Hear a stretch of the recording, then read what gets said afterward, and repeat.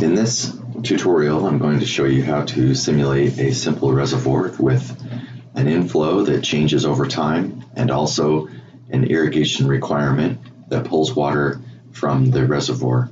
When you run this model, it looks like this. This is the model we're going to create today. All right, so starting from scratch, this is a blank GoldSim model and what we can do is add elements in the graphics pane here. So I'm going to start by setting up the simulation settings. I want my model to run. I'm going to go up here to simulation settings. I want it to run for a calendar period. So I'll change this to calendar time. And I'll set the start date to be January 1st, 2018. I want the model to end January 1st, 2019, so that it runs for a full 365 days. And I want it to have a one day time step. We can also change that here to be specifically days and how many days. We'll just say one day, that's the same thing. Then I'll click OK. Now what I want to do is set up the, uh, the element that will act as the reservoir or simulate the volume of water in the reservoir. So we'll go up here to insert a stock element I'll add a pool. All right. so we need to put in the uh, the ID. I'll just call this uh, reservoir.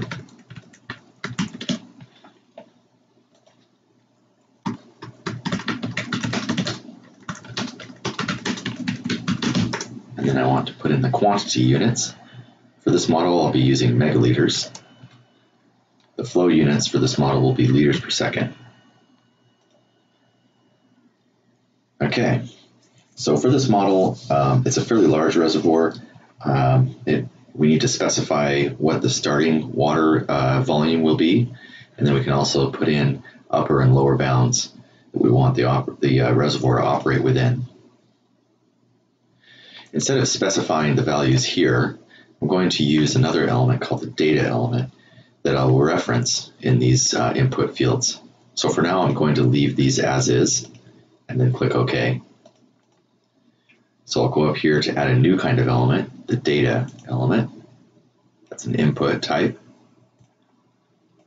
I'll put the data element here and I'll call this one v init, which stands for initial volume of water in the reservoir that's megaliters as well. And then this amount, I want this one to be 12,800.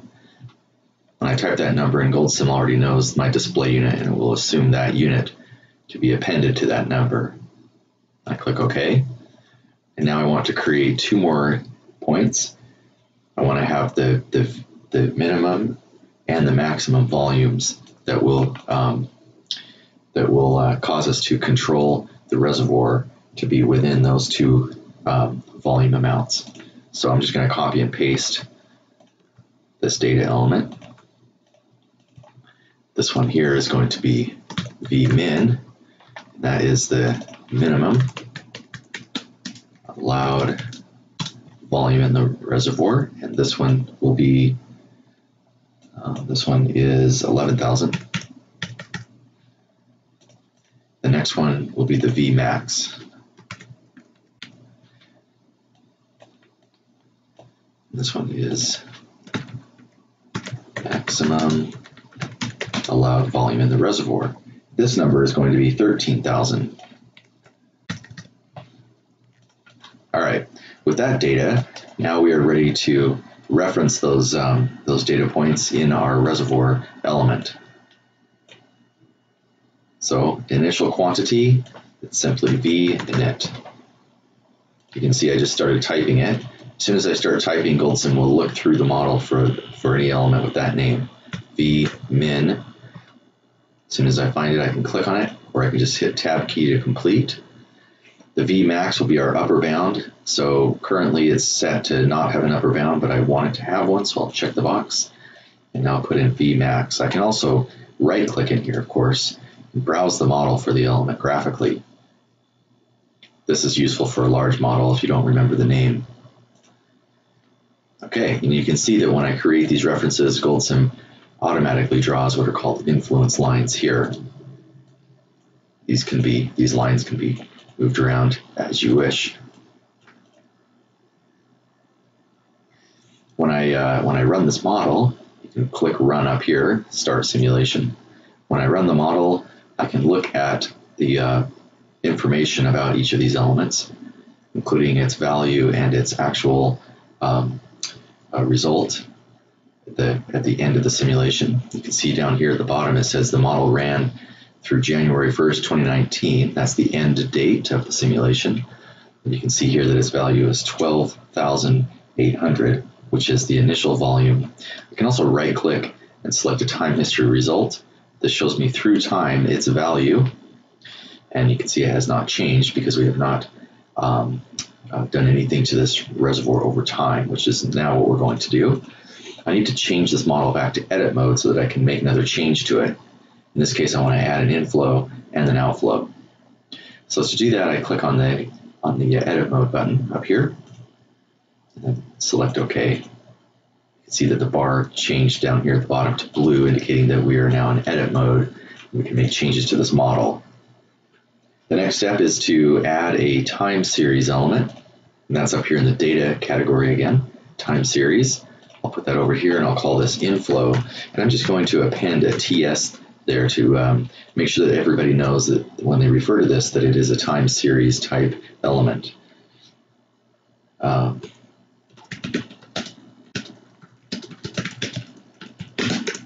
okay, the next, the next step is to add a display unit. I'm going to keep with my liters per second here. Note that GoldSim is doing all of its calculations in SI units, and then it, and it converts um, results to uh, present them back to you in the unit that you specify in the display units input here. Okay, for now we're just going to uh, locally define this data, but we could in the future, and we will actually in a future tutorial, um, make a connection to Excel by selecting this um, option here. But for now, we're just going to uh, edit the data locally. And I'm going to do that by copy and paste from Excel. So I'm going over here to MS Excel, and I already have a file ready to go with um, input data to um, define our inflow to the reservoir. And this is, you can see it has a column of dates and inflow in liters per second, and that's exactly what we want. So I'm going to uh, select this data and copy it to the clipboard. Copy, and then I'll go back to GoldSim, and I'll go in here, edit data, select the first cell and hit paste. Notice up here it says the time unit is calendar data as opposed to day, which would just be a count of the days, but we want the actual calendar month uh, dates to be specified in this time column. You can see that the value column here also has units of liters per second. All right, with that data in there, then we can go ahead and click OK. Note that if there were any blanks in any of those cells that um, when we try to click OK, that GoldSim would tell you that there is a problem. So it actually walks through the data set prior to running the model to make sure that it's valid. Okay, the one important thing about this model, however, is that you need to make sure that the dates shown in this time series cover the range of the dates of the simulation. So our simulation runs from January 1st, 2018 all the way through January 1st, 2019. So this, this will run okay, but if I did not extend this, the time series through this date, uh, the, the model would not run. And that's because of the way that the, the time series is represented. This is all advanced um, for, a, for a future tutorial, um, this information here. So just uh, we'll go ahead and, and uh, work with what we have. Now I want to add the time series inflow to this reservoir. So I need to go back into this reservoir, uh, open up this uh, the properties here, and you'll see that there are two tabs. There are two more tabs. One that's called inflows, one that's called outflows. Obviously, I need to click on the inflows to add the inflow. So then I just click on add, and I browse the model for the time series and find that, put that in, and now I can click OK. And now let's just run the model to see what happens. Run the model, we get this uh, this warning message. And this warning message, if I click yes, you'll see it'll open up a notepad or a, a text file. And it will say down here that the warning and, and the warning that we got in this run is that the is telling us that the pool element is overflowing. There's nothing linked to the overflow output. In other words, um, Now that we have an inflow coming in, the reservoir rose up to um, a volume that, ex- that hit the uh, upper bound and um, therefore causes an overflow output on this reservoir, and we have not connected it to anything. So it's a way to um, prevent us from uh, allowing an overflow to disappear into nothing, um, and to make sure that we complete our water balance in this uh, in this model. Okay, and so if I just click on the uh, right click on this element, I can click on time history result, and you see that the reservoir volume is increasing over time until it hits the upper bound at 13,000 and stays constant at that level. If you click on the output port of any of these elements, you can look at the outputs. In, in each of these cases, these are data elements. They're very simple and they only have one output. The time series has a couple of outputs, um, one of those being the value that it records over each time step.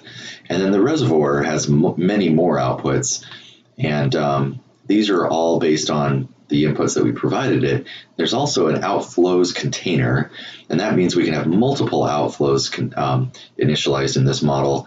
Currently, we only have one, and it's by default called outflow, and it has zero um, requests being made, so there is actually no outflow at this time.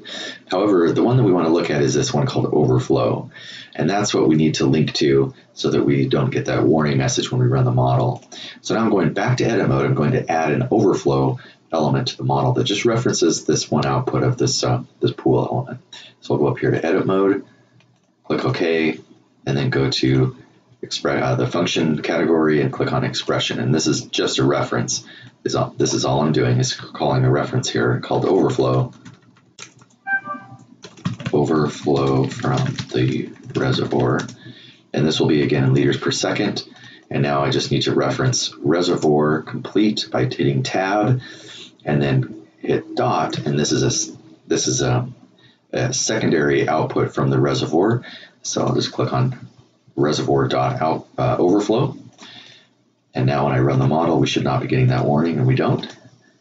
There's the overflow occurring. You can see that during the time that the reservoir is filling, there is no overflow, and then as soon as the reservoir hits its upper bound, then it begins to overflow, and this is um, the net inflow, which in this case is just the same as the inflow. Okay, so now that we're here, now we can add an outflow um, in addition to the inflow. So I'm going back to edit mode. I'm going to add one more data element here. I'll call this uh, irrigation demand. Demand for water from the reservoir to service irrigation requirements. And then the units here again, liters per second. And for this model, I want it. I want this uh, irrigation demand to be 125, or uh, let's let's actually make it 175 liters per second. And now I go back to this pool element, click on outflows, and now I want to put that request here, irrigation demand. I'm just referencing it. You can see that created a link here. And now I want to give it a name that's useful. I'll call this irrigation. Click OK. And now if you look at the outputs of the reservoir, you'll see that in this folder called outflows, we have this called irrigation. So I want to reference that as well. So I will put another expression in here and call this irrigation supply water supplied for irrigation from the reservoir in units of liters per second again. And now I'll just reference, I'm going to do this via right click. So I'll right click here, insert link and browse the model for a secondary output of the reservoir. I don't want the volume, I want the outflow. So I'll click on this to expand, expand again, click on irrigation. Now that that's connected, click OK. Now we can run the model. I can look at the reservoir over time, and you can see that it drained down because of the irrigation demand. It rose up, hit the upper bound, drained down again until it hit the lower limit of 11,000. So instead of just creating these temporary charts like I've been doing, instead I want to create a chart that lasts so that I can just double click on it and um, not have to recreate it every time. So up here in the results category, I'll click on time history result. And now I just need to add the results that I want to see. First of all, I'll call this a reservoir um, time history. And then I want to add some of these outputs. I'm going to add the irrigation supply and uh, the inflow to the reservoir, and that's also an output on this reservoir. I could either link to the time series itself or the total inflow to the reservoir. If I have multiple inflows coming in, maybe that's what I want to see. So I'll click on total inflow, and um, and then I want to click on the reservoir volume itself. And then one other thing is the outflow, the overflow, I mean, sorry. Okay, now these names could be changed just a little bit to make a little bit more sense. So irrigation supply, inflow, reservoir volume, overflow, that already makes sense. Okay, now that I have all of those, I can just I can simply double click on this chart and it shows me everything. So it shows me how initially the reservoir is drawing down because the, uh, the irrigation demand is greater than the inflow. The reservoir now begins to rise up as the uh, inflow increases above the demand. And then we hit the upper bound and we see this short period of overflow. And then once again, the inflow draws down below the demand. Therefore, the reservoir draws down until it hits the lower bound of 11,000 megaliters. And at that point, the demand is only equal to the inflow. These lines are on top of each other over here. Um, we can show that by changing the width of the red line. Go to the properties, change the width, and you can see that the red line is underneath the green line right there. Okay, so um, this concludes the uh, first part of the uh, water management tutorial. And um, thank you for watching. And uh, if you want to see how we in, uh, continue with this modeling effort, uh, go ahead and, and uh, find our, our second tutorial in which we will add some logic on uh, determining when we want to apply the irrigation demand. So we're going to have the irrigation demand turn on and off um, based on uh, the time of year in which irrigation will occur. Thanks for viewing.